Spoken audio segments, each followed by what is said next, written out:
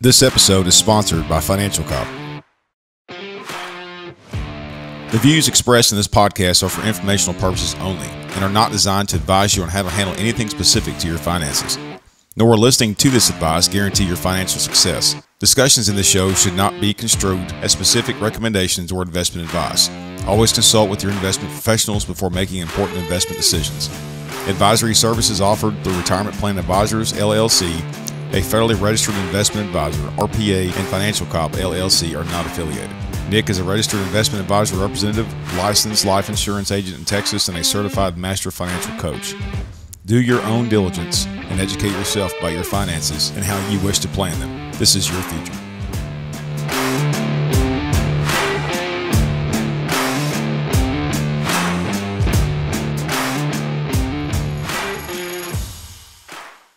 Became a Grand Prairie cop, and it was one of the best things that could have ever happened to me. And I remember I walked over to my kitchen table, and it was the first night I ever added up all my bills, and it was that night I realized as a rookie cop I was eighty thousand dollars in debt. The the real kind of bullshit old crap moment for me was Carrie's title changed from girlfriend to fiance, and I kind of forgot to tell her this little bit of information. So I had to go sit across the table from the girl I wanted to marry and explain to her the guy she wanted to marry was eighty thousand dollars in debt. Hey, Blue Grit Podcast, we're back this week. Um, Clint McNear, your host, and Tyler Owen. T.O. Uh, got a great episode today that I wish I had heard when I was Yeah. 20 years old and Absolutely. uh, 50 years old. Um, Nick Daugherty with Financial Cop. Welcome on. Welcome, hi. We're not actually honored to be here. Yeah, absolutely. Welcome to the Blue Grit stage, Yeah. man. It's a pleasure to have you on.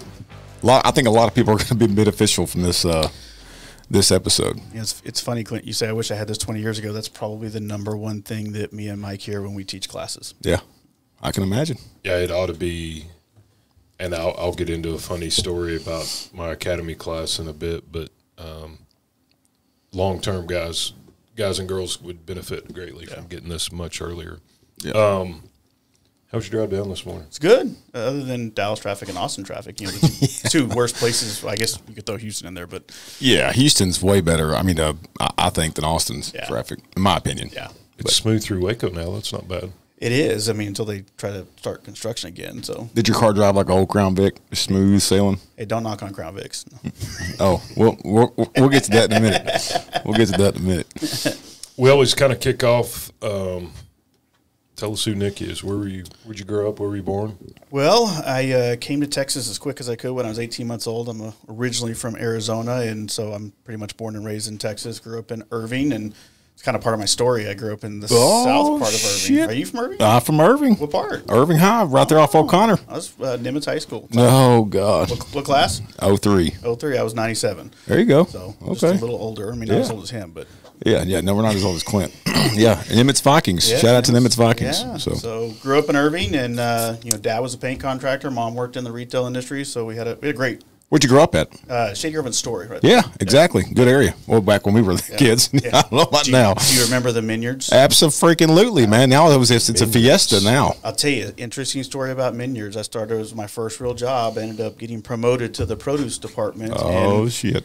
but out of the five or six of us in produce, four of us became cops. I'll be damned. Yeah. Really? Yeah. So, uh, yeah, the Tallies grew up in Irving. Uh, a lot of Irving, and then and then worked for Irving PD. But man, that was a great area back. So I, I grew up around the corner from many years. My my my uh, grandparents had a duplex. It's right there behind. Was it Burger Street? Yep. Best burgers in Irving. 100%, Oh my 100%, God! yeah. Yeah, right down the street from uh, Elliott School, Elliott Elementary. It- we Elliott was my uh, that was my elementary. Oh God! I, I went to Elliott as a kid. Uh, never be the same. And uh, after I went there, and so yeah, I graduated Irving High School 03. Nice. So seventy five percent of the Minyards um, vegetable department became police. What is it about handling rutabagas and avocados that No, it's, Yeah. it was very strange. You know, it was, you know, became best friends with the first guy that became a cop. He went to DeSoto, and he's the reason I became a cop because I was he was my roommate at the time, and I was selling senior trips to high school kids, and you know, having a blast going and living in Cancun, and I got tired of dealing with the high school kids, and watched him go through the academy, and I'm like, man, this looks like this could be a cool job. So That's awesome. That's how I got into law enforcement. I'll be damned. Huh? So you went from putting out avocados to selling senior trips and partying in Cancun. Yeah, That's a that's a good transition. it was a it was a big transition. You know, I you know remember one day I'd, I'd gone to my senior trip and I went back again the second year. And when I got back, I got a call from the VP of sales and he goes, "Hey Nick, I don't have anybody selling senior trips. Would you be interested?" Oh, by the way, if you come work for us, you get to go live in Cancun, all expenses paid for two months out of every summer. And I literally quit. Let me my, think about that. Okay, yeah, I'm ready. Exactly. I don't know if a lot of night aren't going to jump on that. So I literally quit my job at the grocery store on Monday, dropped out of college the same day, flew to California Thursday to learn how to sell stuff, came home Sunday, and moved out of my parents' house on uh, Friday, 12 days. Poquito Spanish. Poquito. Muy poquito. Yeah. enough to make enough to make people think I speak it fluently to where I have to say whoa whoa whoa. Despacio. yeah. So you moved to Cancun at 19. For in the summer, I lived in I still lived in the metroplex of Dallas, but uh, every summer from a, two months. Yeah, for about two months. Yeah. Was there a was there Oh, a certain that is resort that you lived on? Uh, so we worked with about eight or nine different resorts. So So you there could just was- you could just pick. Yeah. Wow. Yeah. Do they still have that job available? Uh, I don't know. Asking for a friend. we can friend. work remote at TMPA, so I would not mind doing that. I would not be in law enforcement if at 19 I'd been in Cancun Uh-uh. having at a time. No. Well, you, you know, you, you, you, I people laugh about it. You lived in Cancun, but it's so instrumental to my actual story because, as you know, the south side of Irving is not the nice side of Irving. Yeah, it's pretty rough. I had a great childhood, we didn't exactly live a life of luxury. So I went from working at a grocery store, I don't know, making seven, eight bucks an hour, to selling senior trips, making forty eight thousand dollars a year plus commission. Which is a At lot back then. in, Yeah. ni- in 1999. Wow. And That's a lot. so, w- what what happens when you hand a kid that came from not a lot that kind of money? We start doing stupid stuff on steroids, which is no different than what we do in law enforcement right now. Mm-hmm. Right? We hire these rookies, you 22, 23 years of age. We pay them more money than they've ever made in their entire life. We and give them a lot of responsibility too. They give them access to unlimited overtime, and it's no Yeah. wonder they do a bunch of stupid stuff with money. Yeah, absolutely. So where'd you go to? What what law enforcement agency? So you so you're doing the the, the, the senior trip deal, and then at what point did you were like, yeah, this probably isn't a career field that I kind of want to stay in? Yeah, I was getting tired of the wishy washiness of high school kids, and again, my roommate was going through the police academy at, for to become a DeSoto cop, and I mean, uh, who would want to stay in Cancun with blow and, and strippers and, and, and nightlifes and liquor and this un, unbeknownst of, of, of party animal stuff type? Who the hell would want to leave that? We were the responsible senior trip company. Oh, At least that's what oh, okay. I tell everyone. That's how I sold you the. And you went to Nimitz? Yeah. yeah. Bullshit. Oh come on, MacArthur was the Well, okay, school. yeah, yeah, you're true. You're true. So I decided to become a cop, and uh, Grand Prairie was the first of I don't know six, seven, eight departments. I mean, back then that's what you did, right? You applied for every Yeah. place because there were 400 people at every test, and Grand Prairie beat out Fort Worth by about 30 minutes, and so Oh, wow. yeah, became a Grand Prairie cop, and it was one of the best things that could have ever happened to me. That's What year was that? Uh, 2003. Grand Prairie run their own academy at that time, or did you go through a regional? went to COG. Cog, Oh, yeah. in Arlington, right? Yep. Yeah. In what year? Uh, I graduated. It, well, I was hired in 03. I graduated the academy in August of that next year, or that year actually. Okay. And Grand Prairie back then was Grand Prairie's changed a whole lot. Just a little. Yeah. They did not have the. I mean, I got hired in Garland '92, and nobody would have applied at Grand Prairie in the early '90s. And that place is is the place. I mean, Yeah. it is one of the premier places to work in North Texas. I mean, it, it was a rough place to work for. I mean, we had a lot of really bad areas. We didn't have a lot of good areas, and you know, it's it's changed dramatically uh, since then. I mean, now it's again one of the premier law enforcement. I mean, right now as we do this podcast, if you told me Grand Prairie would be the highest paid agency in North Texas, I would have laughed at you. Yeah. Yeah. Well, because and, and what's weird about Grand Prairie is typically, historically, for most cities, the south side of any city is typically your worst side. Okay, but Grand Prairie, it was strange because the north side was the rough part. At least when I was growing up, we would go to Grand Prairie High Schools at the Gophers, I think, and then the South Grand Prairie side was the nice. It was the Indians or Warriors. Warriors, Yeah. and they were red and gold or red and yellow. But uh, yeah, Grand Prairie has always been kind of a weird, weird place. But it was it was it was nice back. The South side I, was I'll give you an interesting statistic about Grand Prairie. It is the longest city in the state of Texas. really. It is 27 miles long. We border Venus on the bottom, Fort Worth at the top, and at our biggest girth, we're only eight miles wide, Wow. no kidding. which is why we had such a crime issue because Yeah. you had 30 and 20 on the south, you had 360 and um, uh, uh, Loop 12 on the on the sides, and you, of course they built George Bush in the middle. So I mean, think about it, any crook and that's smart knows I can go into Grand Prairie, steal a car, and I can be out of the city before they even call 911. Yeah. It's also the central hub for the dope too, because I mean, you got 20, 30, 360. Yeah. So that's what I saw as a kid. Yeah. That's who I didn't want to be. Was one of those guys. But But again, it's just I mean, over the last decade, it has I mean the, the, the crime has plummeted. The you know the, the quality of the department has increased tenfold. It's just it's yeah, like you said, it's the premier department to work for right now. I think Grand Prairie 2's success goes back to good leadership. Yep. Mm-hmm. And there's no perfect chief. There will never be a perfect sheriff, a perfect person. But Dye going in there, the faults that he had, he wanted to put bad guys in jail. Yep. He supported the officers that went out and did legal, lawful, aggressive police work. The citizens want that. They Oh, want yeah. to feel safe. Oh yeah. And that's when Grand Prairie started to change. And the 100%. current chief now, Scesney, That yep. Um, everybody I talk to is like, man, all, all he worries about is us and our mental health and making sure we're doing a good job. Yeah. And Grand Prairie went from, quite frankly, being a kind of a crap hole place that nobody would have ever applied for, or it would have been like number 14 on your Yeah. list to apply for. Yeah. Now, when people call me from outside the state or, s- hey, I'm in South Texas moving north, Grand Prairie's one of the Yeah. first couple that I'll tell them, man, you probably need to look at Grand Prairie. You mean look at Scesney. I mean, Scesney's a cops chief. Yep. He's he, he's a line level guy. Yeah. And and he's never forgotten that. Yep. And it's sad that people like that are anomalies, not the norm. They should be the norm. Yeah. Not not the strange unicorn type chief. when you look at like Garcia, we just had we you know we had Dallas our ATO on uh, last week or the week before last, and Yep. I mean just the leadership that he's got with the mental health and the OWL unit and stuff, and it's, it sounds like Grand Prairie is doing the same thing because back when you and I were growing up, Irving PD was pretty.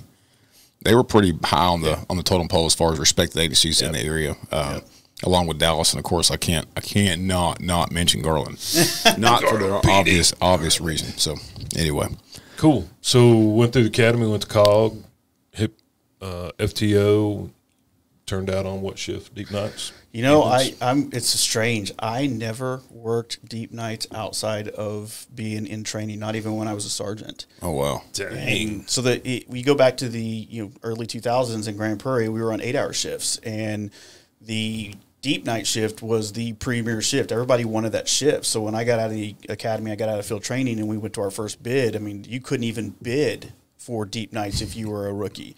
Well, by the time I finally was able to qualify to bid for deep nights, I had a choice. Go to deep nights with Tuesday, Wednesdays off, or stay on evening shift with Friday, Saturdays off. And I was dating my fiance at the time, yeah. and so it's like, so I, I, I- I would have loved to work deep nights. I had a blast when I was on in training on deep nights, but I just could never qualify. And then I promoted to sergeant, and same thing. I ended up being on day shift the entire time. lucked out there. That's cool. So how many years in patrol before you made sergeant?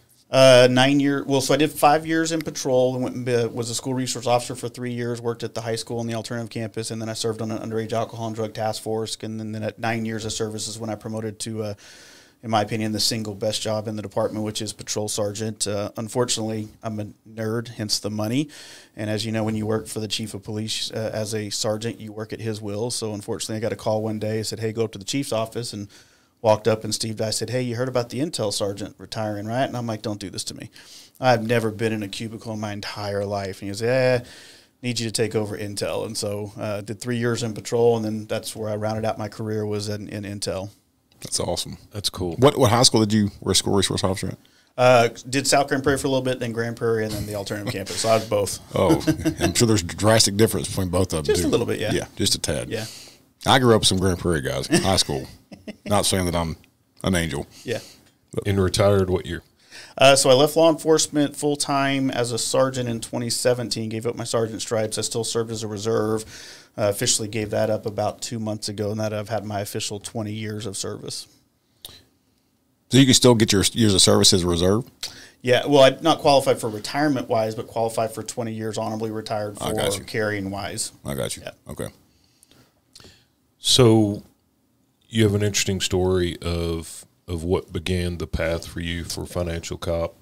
What year in your career did that kick off or just I guess start from the ground? What what it's a crazy story. Yeah, it really started back with the senior trip company. Uh, I mean, I was making a crap load of money, and I just you know, was driving crappy cars at the time because I was working at a grocery store, right? I mean, my first love of my life was a 1989 silver Ford Festiva, right? Silver bullet, basically, or the silver bubble. And I put a stereo in there because you know what what are you supposed to do as a kid? Is take the back seat out and put a stereo. Well, I It's always smart to put a three thousand dollar stereo in a two thousand dollar car. course. A South Irving thing too. The two. That was, Well, it's- yeah, I, had, I don't actually tell the story in my class, but the reason I got rid of that car is I had to get rid of it because the stereo actually broke one of the welds in the roof. So every time the bass hit, it would, yeah, it was horrible.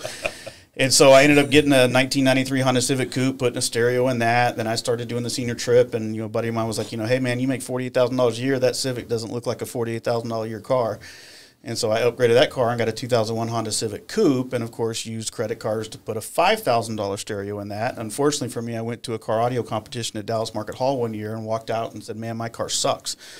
And I decided I wanted to compete on that level. So the year before I became a cop, I dropped my car off at the car audio shop and said, I want to be one of the top 10 cars in the nation when it comes to sound quality. So I went back to Cancun, came back home two months later, and picked up a $21,000 car stereo system in one car, all on credit cards. wow. Um, I was playing the credit card shuffle game where you're shuffling credit cards around to get zero percent interest transfer, and they get another credit card. And I became a cop, and I discovered the most beautiful program in the world when I got done with training called STEP, right? Selective Traffic Enforcement. So did Grand Prairie not look at your credit? uh, so I had good credit because I always paid my bills. I just had a lot of it. So on the credit aspect, I So it didn't flag. okay. Yeah, Yeah, it didn't nothing flag. flagged with it. Um, and so I started working overtime like crazy, and it was a good thing I did because I kind of had gotten myself worked into a situation where if I didn't work 20 hours of overtime every week, I couldn't pay my bills anymore. God bless. Any kids at this point, or No kids, not married yet. the best advice my dad gave me when I got hired, he didn't want me to be a cop. He said, if you're going to do it, you're not going to become in, in enslaved Yeah. Yeah. to part time jobs. Yep. And he said, You're going to have buddies that are part time whores. And I'm just telling you not to do Best piece of advice I ever Yeah. had. And I didn't have the money some of my friends had, but I had buddies working 20 hours a week every week for the first 15 years we were That there. was practically me. And, and, and the thing is, is that the stereo destroyed the car, and so I had to rip it out. So here I am with about thirty thousand total on all my car, car stereos and credit cards, and I got a car that's seven thousand dollars upside down on the balance. And a buddy of mine said, "Hey, you should go to Grand Prairie Ford because they take care of us Grand Prairie cops, right? We all Literally destroyed your car. Oh yeah, destroyed the electrical system completely. and so I went to Grand Prairie Ford and said, "Hey, I got a problem. I'm seven thousand upside down on the balance of my car." And he goes, runs my credit, comes back with a big old grin, and says, "Don't worry about being seven thousand upside down. We'll roll that balance into the next car. What kind of car would you like?" I said, "Man, that yellow Mach One Mustang was pretty." And so I bought a brand new 2003 uh, Mach One Mustang as a rookie. And of course, you know, when you drive it like you stole it because you got a badge and a gun, you also have to replace the brakes and tires every six months, like we do in our squad cars, and Right. that became expensive. So I decided I will backtrack. I also met Carrie at the time, who I just figured out quickly was going to become my wife, and so I thought maybe it's time for me to go get me a grown-up car. So I decided to do something even worse and go trade that Mustang in. Mind you, seven thousand upside down on the Accord, several thousand upside down on the Mustang, and I did the worst thing you can do, which is lease a car. Oh. I leased a fully loaded thirty-six thousand dollar Acura TL. And I got home one night exhausted, not exhausted because I worked my shift in patrol, but because I did five hours a step before my shift started. And I remember I walked over to my kitchen table, and it was the first night I ever added up all my bills. And it was that night I realized as a rookie cop I was eighty thousand dollars in debt. On cre- like credit cards and car Credit payment. cards and cars. That's all it was. All credit cards. And of course, you're probably renting or doing the courtesy officer thing. courtesy officer, yeah. yeah. I, I mean, heck, if I had lost the courtesy officer job, I'd have been ruined. I'd, I'd had to go up to 25 hours of overtime a week. So what do you do with thirty thousand dollars worth of stereo equipment? Uh, it gets sold for about 2,500 bucks. Traders Village. yeah, it's not worth very much. Uh, as a matter of fact, I, we just moved recently, and I actually still have a couple of the old pieces because I couldn't park because they're so expensive. I'm like, I'm not selling this sixteen hundred dollars speaker for hundred bucks. So at eighty grand, how much on credit cards? Uh, probably about forty ish to forty five ish was all in credit cards. What is minimum payment for for your young listeners or or non law enforcement? What would minimum payments just to keep the principal moving on forty thousand look Somewhere like? around four fifty to five hundred ish, give or take. Wow. Not counting the lease payment on the car that was all upside down equity as well. and your up and your percentage rate at that point was what 18 20 percent. Uh, well, it's a lease, so it's an internal that you don't technically see with it. So it's it's part of how they sell the leases. Is it's not about the interest rate; it's about the monthly payment. Uh, but I was in order to afford the monthly payment on all the upside down equity, I had a very low mileage allowance, which was setting me up for a another Balloon payment. Yeah, down the But road. I'm talking about e- on the on the credit card. You're looking at 18, 19 Oh yeah, I mean, easy. I don't. I mean, easy. Yeah. I mean, I don't know what they were back then. I mean, today the average interest credit card is twenty percent plus. So Wow. So four or five hundred every month, just to keep the principal, just to, I mean, just to just keep- to tread water. just to keep it Yeah. basically neutral buoyant. Yeah. Wow. So at what point did you were like, man, this is bullshit. I got to do something about this. You know, I, I, I added the debt up that night. I was eighty thousand dollars in debt, and I think the the real kind of bullshit old crap moment for me was Carrie's title changed from girlfriend to fiance, and I kind of forgot to tell her this little bit of information. Ooh. yeah, so I had to go sit across the table from the girl I wanted to marry and explain to her the guy she wanted to marry was eighty thousand dollars in debt. She happened to be debt free. And if you will marry me today, Yeah, we we can do together. will be eighty thousand dollars. Eighteen percent Yeah. if you want to pay, baby. Yeah. So you can imagine the look on her face, and I looked at her and I said, "Carrie, I got a plan." And she kind of looked at me back and she said, "You better." I was very lucky. You know, when I got released from training, my beat partner was a 20-year vet that became one of my best friends, and he was that car that would that cop that would go car to car and pound financial wellness into their head. I ended up getting introduced to the Dave Ramsey program at the time too, and I fell in love with this debt snowball mentality. And I committed to Carrie that night that I'm, like I said, I'm, I'm going to pay off all eighty thousand dollars before we get married. What year was that, or about how old were Uh, you then? this is about 2005 ish, give or take. Okay. And so I pushed our wedding back a little bit, and over the next 24 months, I worked over a thousand hours of overtime. And on March 3rd, 2007, we got married 100% consumer debt free, everything Wow. but the house. That's awesome. So So you started on what roughly what day with eighty thousand dollars? uh, some, somewhere in 2005 ish, Mid two thousand give five. take. And on when were you out? March 3rd, 2007 was our debt free day. Damn, two years. I did that intentionally so I could always remember our wedding anniversary, by the way. Two years. Now, you know, I, I always I have people um, when we teach the class, we go through a progression of things. You don't pay off eighty thousand dollars in debt by working a thousand hours of overtime, right? I, I had to get rid of some stuff, Yep. and so what was the first thing I got rid of? It was the Acura. I was upside down up to. I mean, I was way upside down. I ended up having to get a. I sold it. I had to get a loan for the difference because I was so upside down, and I ended up driving Carrie's then 2001 V6 Ford Mustang that I hated because it was a V6 and it was beat up, and I had a Mach One before, but it was paid for, and we bought her an Altima, and we started working that debt snowball, and and that's how we paid off everything, and it's that whole sacrifice. I mean, for two years, I drove a shitty car. For two years, I didn't go to restaurants. I didn't go on vacations. We live like no one else. And if you go out in the parking lot right now, there's a fully paid for, uh, fully loaded Acura TL out there. You know, that's th- that's what you have to get when it comes to the finances. Is it's about the sacrifices initially, so that you don't ever have to sacrifice down the road. Yeah. But that's how this started. Is that's where I started getting interested in finances. So for our listeners, what when you sat down and realized, okay, I have eighty grand, or a- anybody, if they sat down and, and looked and said, okay, I have a boat, a car, a house, I have thirty thousand dollars on credit card, uh, maybe a little student loan. What would a person? What would the initial assessment? Would you tell them to begin a snowball plan? Look at interest rate first. Look No, at the payment. it, it actually isn't even the snowball you look at first. It's the number one thing we hate doing that you have to look at first. It's the dreaded B word, aka the budget. Right? Nothing starts with a plan unless you have a budget. You can't pay off debt, just like you can't really technically save for retirement and a vacation and, and other things without understanding what your budget is. And so I had to get a grasp of what my outflow versus my inflow was. And I kind of came to a realization that, you know, we have this gift in law enforcement called overtime, right?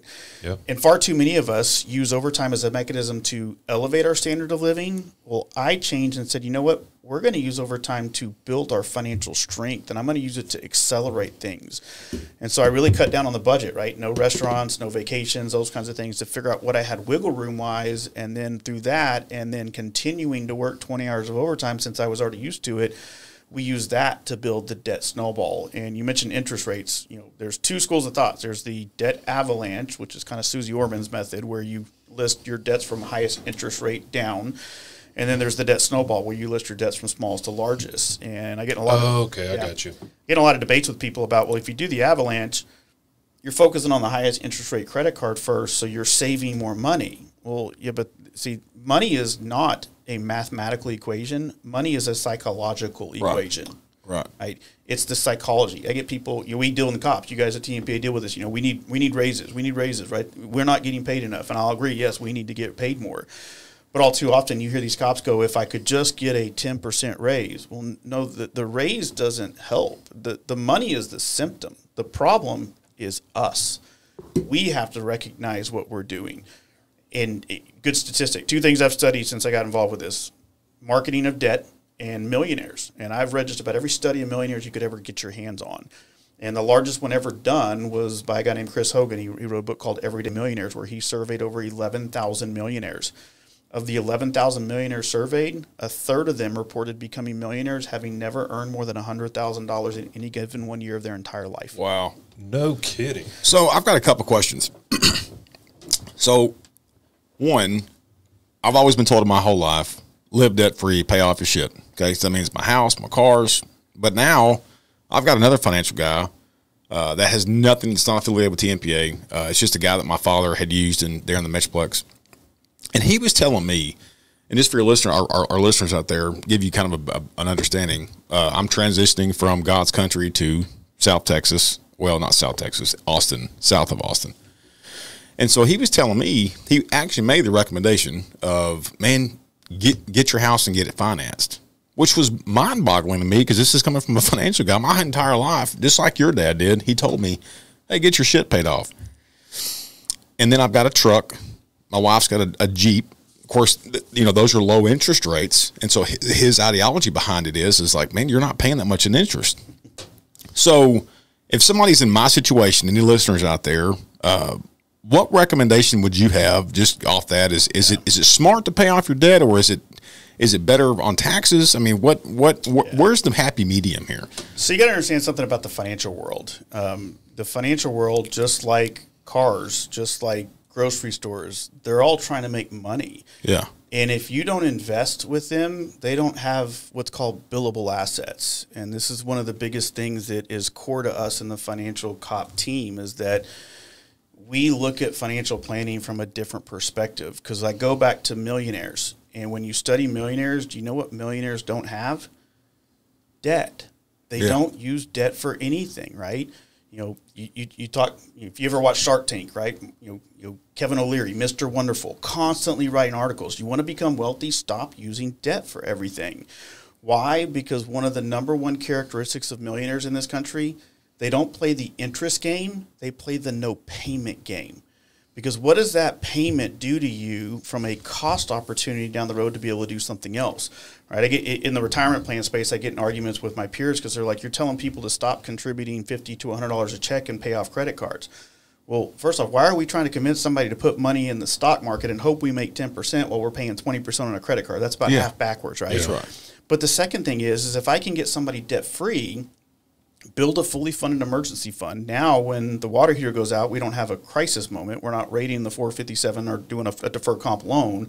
But more importantly, instead of doing 50 to 100 dollars a check, you're doing 500 to 1,000 dollars a check. And so I'm going to catch up quicker. And then at the end of the day, when you retire, your retirement account's going to be bigger. You're going to be financially prepared for retirement. And you're not calling your financial advisor going, I need money because my AC went out. You're calling your advisor because you want to go on a, a fishing trip, right? Or, or, or a cruise or something. And so that's or live in Cancun. Correct. yeah, there you go. Um, and so that's the difference. Is is yes, your interest rate may be lower, but at the same token, what is that payment that you're tied to costing you in the form of opportunities? We go back to law enforcement, right? We're, we're, we're losing our brothers and sisters in this industry like crazy. I mean, you guys remember back in the day, we got into this job and it was, man, I got to do 30, 35 years. Now it's, I got to do 25 to 30. Now it's just get me to 20. Yeah. Yeah. I'm And- limping across the finish line. Well, and, and how many you, I the- didn't. I didn't. I didn't finish it. yeah, but in the field, how many times have you heard a cop say, "I just, I, I got a dream, I got an idea, I just, I, I, I don't want to, I, I can't leave law enforcement. I don't, I don't have any other skills, right?" What I've found is that a good chunk of those, it's not that they're scared because they don't have any skills; it's they're scared because they're, they're tied to a payment they have to make. Yeah. Now, when I left law enforcement, I, jumped off a cliff, right? I gave up a hundred thousand dollar a year salary, right? My pension, I had one of my fellow academy mates call me recently to start planning his retirement. I looked at him and I said, "Man, I hate you." And he goes, "Why?" I go, "We were hired together. I'd be qualifying for my pension right now. I got to wait till I'm 60." And so I jumped off a cliff, and I had people tell me, "You're an idiot, man. You're giving up this government job." But I had no debt to hold me back for a dream.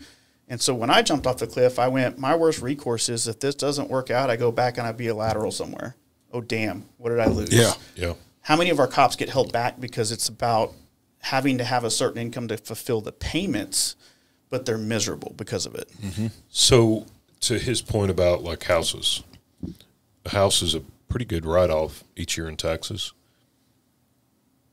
Does that balance out if you pay your house off? Um, let me ask you this: If I gave you hundred dollars, which would you rather have, twenty dollars back or eighty dollars back? 80 back. So if you take hundred dollars in interest and you write that off your taxes, what you're saying is I'd rather give the bank eighty bucks so that I don't have to give the federal government twenty in the I write you. I'd rather have the twenty dollars go to the federal government and keep eighty dollars myself. So the whole tax write off you know equation of this just doesn't compute when you dig into the math. It's kind of like the you'll hear financial advisors say, "Don't pay your house off, invest in the market because your, your your mortgage is three percent, but you can get ten in the market." Well, that's a play on marketing words. If I do the math with the interest rates, that works. If I change the equation to the dollar amount, it doesn't anymore. Yeah. Unless you have three hundred thousand dollars to put in the market, because if you make an extra principal payment on your house and that saves you eight hundred dollars in interest on the back end of your loan, but that thousand dollars goes in the market and it makes ten percent this year, what did it make? It made a hundred bucks. So same kind of equation. It's just again, mar- this is why I studied the marketing aspect just as much as I did the millionaires because it's just a play on the numbers to make it look good in that perspective versus another perspective. I can't wait to live here and go tell my wife. So you fixed to be recommend? I've always heard, hey, if you can make that thirteenth house payment each Yeah. year, you recommend that? Uh, to a certain degree. And so we preach, we have our program that we call the eight phases to financial training. And, you know, if you've ever followed Dave Ramsey, he has his seven baby steps. And we designed our phases of training to kind of mimic the FTO phase, right? We've all been through field training. We know you don't start in phase one and go to phase four, right? Sometimes you can accelerate the phases if you're a lateral because you get to skip some stuff. But unfortunately, sometimes recruits struggle and we got to pull them out of training and they've got to go to remedial to fix the problem. Sometimes when you're working a financial plan, the water heater goes out. It's time Yeah. to go to remedial and step out of the plan, fix the water heater, and go right back into the plan. And so we preach those phases where we preach phase one being budgeting, right? You've got to do a budget every month. Phase two is to create a $2,000 baby emergency fund. Phase three is to do the debt snowball, focus on becoming debt free, paying off everything but the house. Then we go into emergency fund savings. Then we go into extra retirement savings. Then phase seven is, I'm sorry, phase six is save and invest for big purchases. You got kids. Let's talk about college planning. You want to buy a Corvette. How do we buy it? You know, buy that Corvette that doesn't cause us to go back. I need to skip to that phase. What Yeah. is that phase? Remember, live like no one else so you can live like no one else. Then we get to phase seven. So I don't want to go full bore and paying the house off until we're debt free with an emergency fund, but then I don't want to go full bore on the house while neglecting retirement at the same time. Yeah. So we start to do those in conjunction. So in law enforcement, we talk about tunnel vision is a bad word, right? Tunnel vision will get you killed. In finances, tunnel vision's pretty good in the beginning, right? I want to tunnel in on the emergency fund. I want to tunnel in on being consumer debt free. But once we get to phase five, now we can go back to our head on a swivel, right? I want to focus a little bit towards retirement, a little bit towards you know big purchases, and a little bit towards paying off the house, so that we can get back to living like no one else. So, what do you think as far as you, you, you mentioned? I think it's phase three, the emergency fund, kind of padding that emergency fund. Phase four, actually. Phase four, sorry, uh, I was going off. Clint, Clint told me three. Uh, what point? How much should one have an emergency fund? Because I, I, again, back to kind of my parents raising me or my my my wife's father. He always told me three months, at least three months. Is that a good? Is that a good recommendation for our listeners? Yeah, three minimum. I prefer closer to six, just Yeah. because we're cops and we like to plan for the worst. And Right. So I'd rather have. I, I've never met anybody that said, "Oh, damn, I saved too much." Yeah. so for our listeners, Yeah. to to be specific, what you guys are referencing, emergency fund. So everybody's cost of living may be very different. Some people's debt may be five grand a month to survive. Some may be three or ten. Whatever it takes, if if me and my spouse become unemployed right now, the amount of money it would take for us to continue survive Yep. for three months, five months, six months, whatever that whatever that fund, and it's going to vary for every family, but whatever it would take if both of us are unemployed or apocalypse happens today, that we can survive. Is that right? Is that fair? It's really easy to figure out because remember, phase one is the monthly budget. Yeah. So what your monthly budget is, that's what you multiply times three or six. Now you got stuff in there you can cut out, right? In an emergency, emergency, but that's a general th- rule of thumb. As we tell people, what your rough monthly budget is, three to six months of that. Hmm. It makes sense. And, and, you know, this is what's fascinating, just to kind of segue into to, to a second part of this or third portion. You were a TMPA member when you were at Grand Prairie? Still am, yeah. Still am, you know, and then you've got Mike Parker, you got James Babb, you got guys that are actually cops, right? And that's what I find always awesome about you and your team is the fact that you guys have been where we're at. You've you've been the 21 year old guy that's made obviously hundred thousand dollars. But I know God knows it wasn't back then. Whenever, whenever you started Grand Prairie, it was more like probably 50 or 60. But man, you've you've walked the shoes that most of your clients that you're giving this advice to. And so that's what I find so awesome about financial cop. And I find that, you know, you're not preaching something to somebody that you didn't walk yourself. You're not preaching financial advice to doctors or lawyers. I mean, you're you're preaching this shit to cops that you know because you've worked in it. Yeah. You, Mike, James, and you know you're always trying to expand that team with other cops. And so, you know, I just kudos to you for doing that, man. Uh, it, it's you know I got in this industry because I, I, I, wanted to have somebody that had a voice that understood. Yeah. Right. Far too often, I mean, there's a lot of really good financial firms out there, a lot of good financial planners, but the reality is, is unless you've put a gun and a badge on for 10, 15 years, you just don't understand. Well, let's call a spade a spade. Cops are weird. I'm calling a lot. You can get pissed off. Tyler Owen dot, at Owen at tmpa.org. We're a strange bunch of people. Just a little. Yeah. And so to give advice to a certain industry or a certain group of people that we know as cops, it takes a special breed of person. Well, and we're a bit hard headed. The funny story I was no. going to share my academy class started 31. I think we graduated 28 or 29. Last day of the academy, we had a commander named Plumley, Rex Plumley, kind of like Sergeant Major Plumley was in uh, A Few Good Men. Not A Few Good Men. Um, yeah, I'm fixing. I'll, I'll say it in a minute. The Marine Sergeant. We were soldiers. Yeah. He was just like him. He was a rough, respected, hard man. Last day of the academy, he said, Y'all are going to field training. You're getting and back then Z seventy one trucks were the thing. Z seventy one. What I mean that thing? There still the are. Oh man, it, they not like they were back then. The Z seventy ones had just come out. That Z seventy one package. Yeah. They just come out. Plumley said, twenty eight of you are going to field training. A bunch of you morons aren't going to make it, and I know a bunch of you dumbasses are going to end up at a car dealership. This was on a Friday. A bunch of you dumbasses are going to be at a car dealership tomorrow. I'm telling you, don't go to a car dealership because you're not going to make it through training. What'd you go buy? Z71. so when I pull onto the back lot, we had the weekend off. When I pull on the back lot that next Monday night, Sunday night or Monday night, for our first night in training on deep nights, Garland at the old station, the parking lot was really dark out yep. the back. So when I pull in, I black out because I had dealer tags, and we were told don't do it. So I'm trying to hide in the trees and park in the dark. Well, I look, all these other Z71s with paper tags are pulling in trying to park.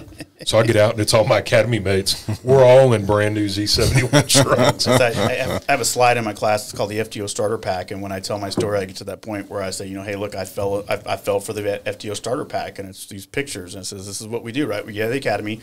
We get a sports car or truck. We get a rifle. We get a tattoo. We date a nurse, a teacher, or a dispatcher, and we're broke, right? Yeah, yeah. We're just, Buy four guns. Yeah. Yeah. Universal, right?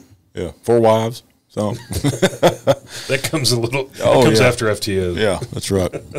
Uh, man, do you got anything else that you want to kind of touch on that, that you think is crucial to the you know the listeners and, and law enforcement guys that, that are in financial situations right now that they can maybe call you or lean on you? Yeah. So one of the things we're going to do is I'm going to give you guys a QR code to throw up here, and so anybody watching this uh, you know, we're, we're, we're well known for two parts. We're really well known for our financial wellness. Yep. You know, we're one of the largest in the country. We've taught over 30,000 first responders from 3,000 agencies. And we have our entire virtual academy. And so what we're going to offer is anybody watching this pad- podcast can get free access to that's awesome. that for a full year. Wow. Yeah. Uh, so we've got our four-hour class on there right now. Within the next uh, couple of months, we're actually adding budget workshops, retirement seminars, uh, we're building one of my uh, a class that's near and dear to me. We're actually going to put out outside the academy for free. We're building a premarital financial coaching class for first responders. So the QR code you're talking about, they can click on it and get this for free. For free for one year, and so we'll. Where are they going to put it, at Clint? See if you can guess. Put right, right, here, right here, right here, right here. Hover right here. Right. yeah. Um, and so the second thing we're known for is the financial planning. So we are a fiduciary only financial planning firm, which is a unique entity. Right. There's about three hundred thousand firms out there. What does that mean? So fiduciary is a term that says you're required by SEC regulation to put the client's interest ahead of yours at all times, not just some of the time, but all times. Mm Now, in Break that down into dumb caveman marine terms. so you get two different types of financial firms out there. You got what are called broker dealers, and you got registered investment advisors. So the fiduciary is under the registered investment advisor side of things.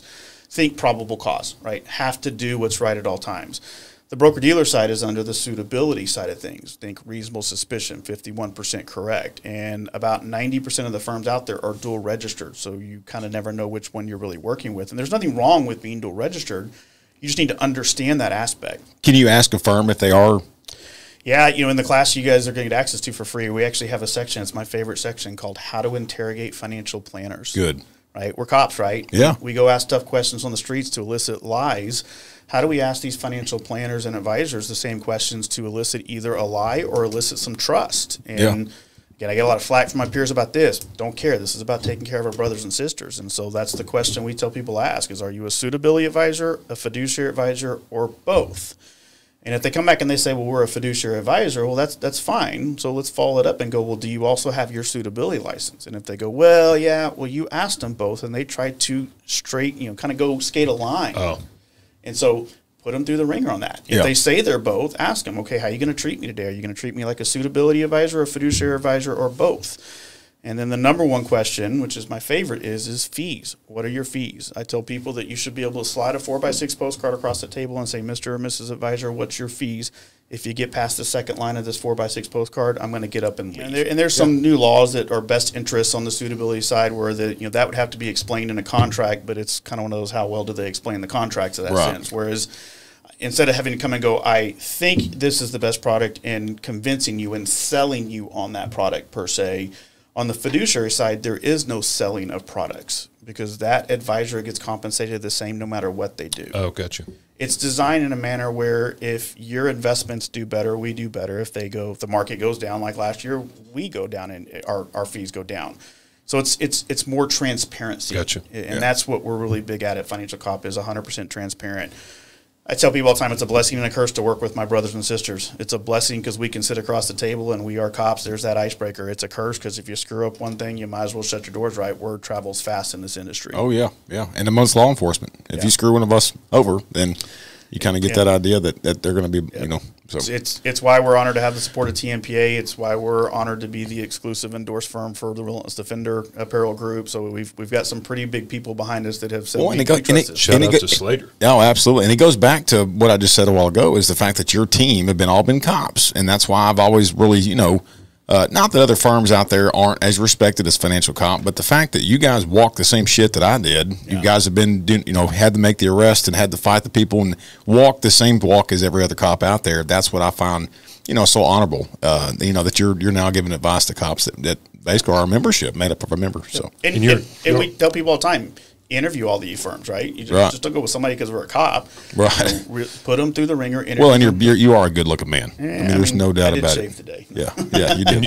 You are trainers for FOP as well, is that right? Uh, so we have taught for the FOP Wellness Symposium twice. We did their conference a couple years ago. So we yeah we have done some stuff with them. We've been teaching for concerns of police survivors for, geez, I think six out of the last seven years. Uh, Yeah. So we've we've done some pretty pretty major conferences where we just not we don't just get invited to go teach. We get invited to come back over and over, which is I think one of one of the biggest things I am honored when I get an invite back. I'm Well, glad you. uh, go ahead. Well, no, I think that's cool because y'all have taught at LEMIT Leadership.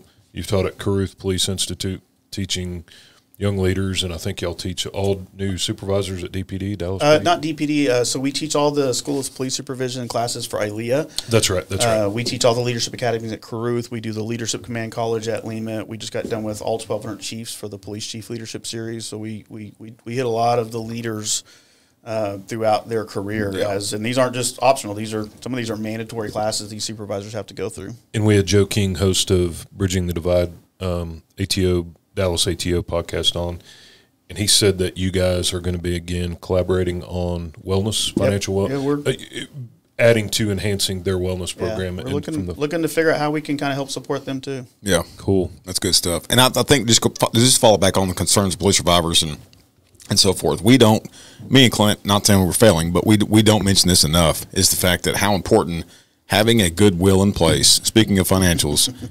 Uh, and if you're a TMP member, you get that as at, at, at no at, that is a benefit of your membership package. So You and your spouse. If you do, yeah, if you do not have uh, a will in place, I strongly, strongly, strongly urge uh, our listeners, uh, if you are a TMP member, to reach out to a field rep. You know, give us a call 1-800-848-2088. Uh, we can get that set up for you through Kelly Foreman and Randy DeBravo. I'll give you a sidebar. We we have a giveaway on our, our website where if you go there at the bottom of every page is a, a free download for a 16 page fillable legacy go bag. There you go.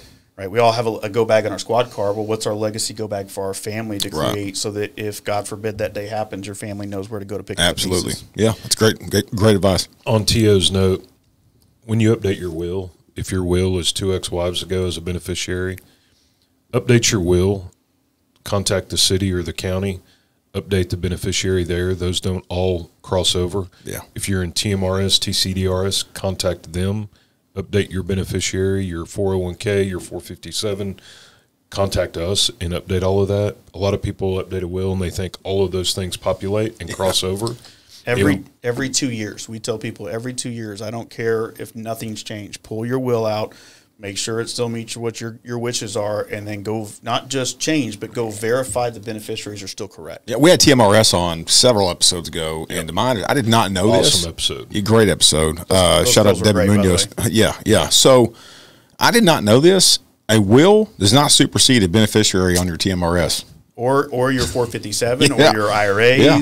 So your will may say, "I'm giving all my shit to Nick and Clint, and they can fight amongst them however they want to dispute it." But if my We can work beneficiary, that out. yeah, it ain't gonna Leave be it like much. We'll work it out. Yeah, eh, but if my beneficiary package says that I'm going to give it to Natalie Garza, uh, our awesome, uh, you know, Blue Grit uh, co-host here on the on, on the backside that we never get to see, she gets all the money, not Nick and Clint. So I just want to be clear on that. If you do not know that, that's why Clint was mentioning TMRS, TCDRS is that fact that you have to change your beneficiary, you- except your will. You guys have seen the horror stories we Oh, have on the horrible. crisis the crisis coaching we do with, with with officers that have passed away. I mean, I can't tell you how many times we get there and it's like, hey, uh, I, you know, we, does he have a pension? Yeah, he has a pension. Who's the beneficiary? The ex-wife. Uh, Yeah, Yep. and that's like a, it's it's almost like they have to relive that that horror uh, story Oh, yeah. again, and it's just it's horrible. It's a bad.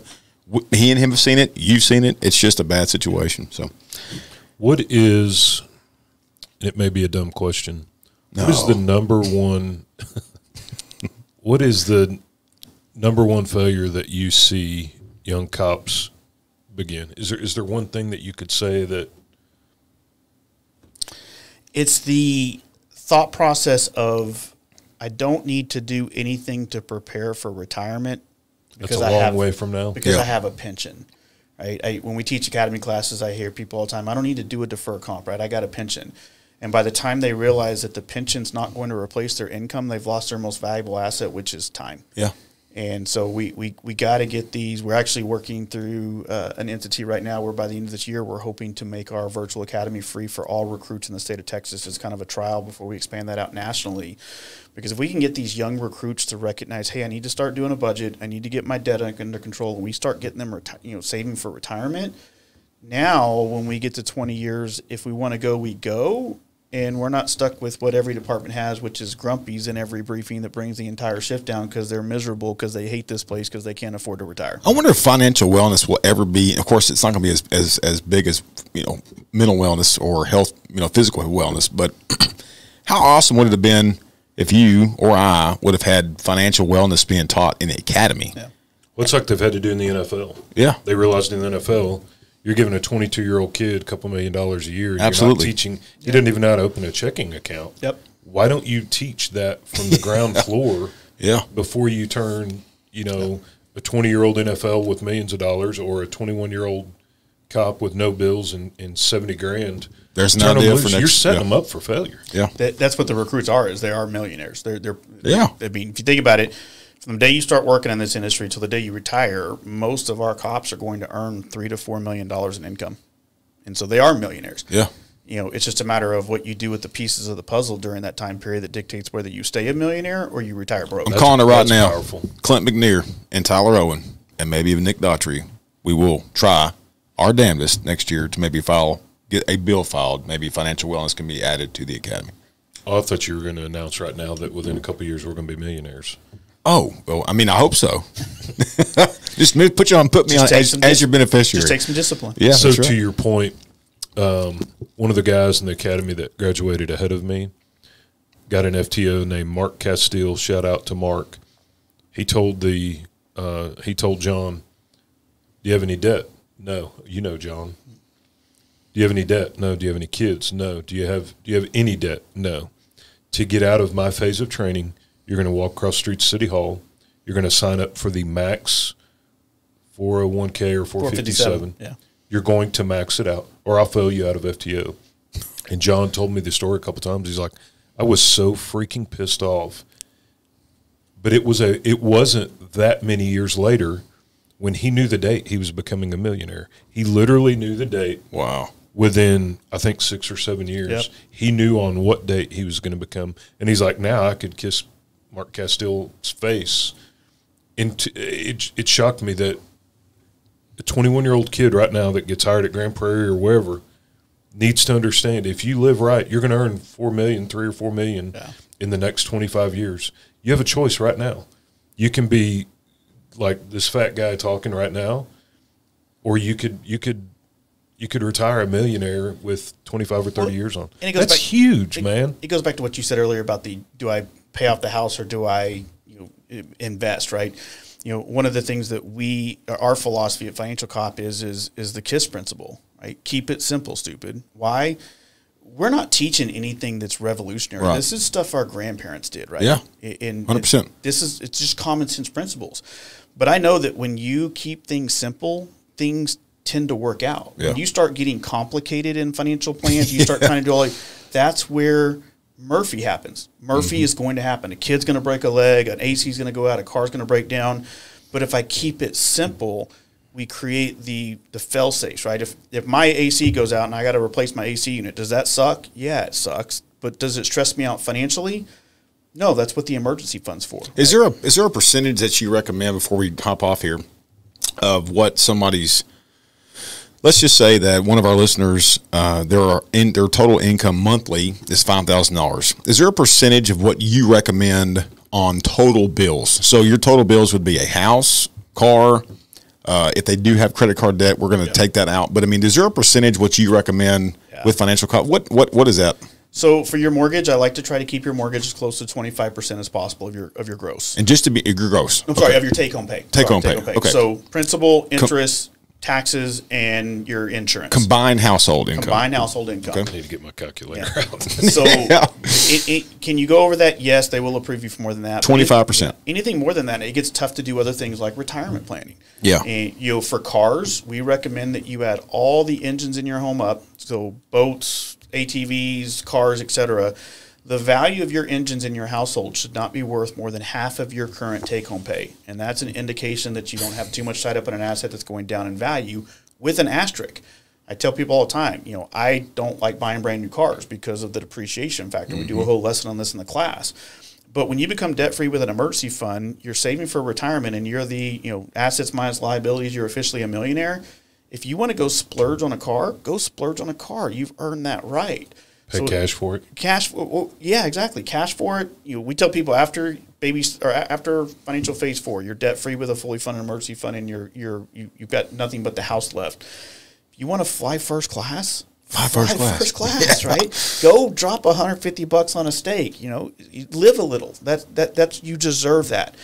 It's about the sacrifices early right? You want a boat? You can buy a boat. It just needs to be in the right phase Yeah. not when you get out of the academy. Right. Cool. I just want. I, I thought about that. yeah I want to go back to Nick the cop. What was your best day on the job and your worst day on the job? Uh, worst day on the job was Christmas, and I don't even remember the year. It was the the shooting we had on Christmas Day that it drug on all day long. It's just, um, you know, I, I was fortunate as a sergeant never have to be on duty when we had an officer shot that passed away, but we had you know several officers shot that day. Uh, best day on the job, I don't know. Just about every day I was a sergeant on patrol. I mean that. I mean there is no better job than patrol sergeant. Good gig. Yeah, I mean it's just it's your it's your you- you're you're in the middle, right? You you yes, you have some admin roles, but it's your ability to still be one of the guys and affect change and you know, I, I, I actually, if you want to know my favorite day, um, hopefully this dispatcher's not listening. we had this dispatcher that for years, right? It's 5:58 right before quitting time, and there's a delayed BMV report. And so when I got promoted, I was lucky. I was a nine-year sergeant, so I got put on the 30-year veteran shift. and so I gained a lot of respect the first week because even though I was the baby, this dispatcher 558, I don't remember what number, you know, 135 responded to this you know BMV report that's delayed, and I'd been wanting to do this for my entire life. And I got on, I was like 130, 130, go ahead. I believe that call can hold for deep nights. Yeah. yeah. that was one of my favorite things I ever did. That's awesome. So got a lot of street cred with the guys who was like, Hell hey, yeah. finally somebody in there. But two, I got to tell a dispatcher for years and she couldn't tell me no. Yeah. That's awesome. So, what would 40 year old Nick tell 17 or 18 year old Nick? Um, there's speakers that sound just as good that aren't 16. No, Jensen by Jensen. Kicker. no yeah, not kicker, kicker not, not Kicker. Jensen, not Jensen. Not no, Jen- no, yeah. Jensen, bad word. Yeah. Um, I, I would go back and say, you know what, it's it's it's okay to splurge a little bit in moderation, but don't think that you have to have the image of the Joneses. Yeah. Right? You don't have to have the best of everything, and it was it, it actually was easier back then because we didn't have Facebook. Right, it's tougher now. Yeah. Big time. Yeah. Social media plays a big part and, of it. and and that was what I wish is that I didn't have to have the impression of look at me. I'm going on all these vacations. I'm buying these nice cars. I could have still had nice cars. I could have still had a nice stereo system, but it didn't have to be that nice. Right. Don't live a Solid champagne, advice. champagne lifestyle on an old Milwaukee budget. Yeah. And if you do that, when you do get to 40, guess what you do get to do? You get to live the champagne lifestyle at that point. If you take the right steps in your discipline, you get to enjoy it then. Yeah. Solid advice. I like it. All right, man. We got some rapid fire questions coming at you. Oh, good. Uh oh. What is your favorite cop movie, your line from a cop movie, your favorite patrol vehicle, and your favorite drink of choice? Favorite uh, patrol vehicle, hands down, Crown Vic. Anybody that says Yes. not. So I was the fleet coordinator, and I was the last sergeant to ever drive the Crown. I'm telling Vic. you, you're not going to win this debate. Yeah. Crown Vic, this it's a workhorse. Yeah, it's Yeah. it's, the workhorse. Cop movie. I got to be honest. I I didn't watch a lot of cop movies because I really embraced the when I was out the door, I was out the cop mode. Yeah. So I just never watched a lot of cop. That's movies. smart. That's Yeah. solid. That's good advice too. Uh, drink of choice. I'm weird, right? You know, everybody in Texas, they're all bourbon drinkers. I am a rum fanatic because of my Cancun days. yeah. I'm talking like rum that you drink, like bourbon on the rocks, that you would just like 18 year old and yay age, Don Pancho, 18 year. I've had people in my house that are like rum. Like, okay, I'll get you bourbon. I'll hand them a dark glass, and they'll start drinking. They're like, "What the hell is this?" I'm like, It's rum. "Rum," and they're like, "No." We had another big rum drinker on. Uh, Matt is Malinsky, I think was his last name, the Lubbock guy. He's a huge Yes. rum guy. That's right. That's right. That's right. Is it high on sugar though? Isn't rum high on sugar? It is, but the good in Añejo rum is just it doesn't taste. You have a hint of sweetness. It's just it's like a good bourbon. It's just smooth. As long as it doesn't taste like Angel's Envy, I am 100% okay. So what what would a good quality rum? What brand? What, what would I uh, look for to try? Don Pancho, 18 years, my favorite. They have a seven year old that's a little lighter that's good for rum and coke. Uh, Zacapa is another one. They have a white label that's good for rum and coke, a black that's a little bit better, and the XO is good just on the rocks. Uh, those are my two go tos. Cool. All right, I like it. Yeah, absolutely. You got anything else, Clint? Nope. Um, click on the QR code. QR code that he'll probably put over my face. Right here, right? Yeah. It's a great opportunity. Appreciate you guys coming on. And your staff is Mike Parker. James Babb, and I've got um, uh, Brian Box, who's a retired sergeant from Carrollton, and then we've got uh, our back end staff with Amy Parker and Carrie Daugherty, uh, wife of Mike and wife of me. And so your staff, um, Grand Prairie, Mesquite, Plano, And Carrollton. and Carrollton. Yeah. Good. With rapidly, we're going to be expanding into multiple states in the next 12 months as well. Good. Wow. Good deal. Awesome. Man, I appreciate you, brother, again. And uh, you know, you, your your experience and everything. It's just uh, it goes to show that man, you just know who you're investing your stuff with, and uh, that's why again, I'm, you, you know, y'all y'all being cops and everything. It's just a good it's just a good program. So Appreciate you being here. Thank Appreciate you guys. coming in. Honor from- be here. Hey, you guys stay safe out there. Hit that like, subscribe button. Do not beat up Clint too bad. If you guys have any questions, bluegrit at tmpa.org. It's bluegrit at tmpa.org. Man, it's been a good episode. It's been good. Drive that uh, forward like you stole it when you go home, like a Crown Vic. I will. Be northbound. God bless you guys, and as always, may God bless Texas. We're out.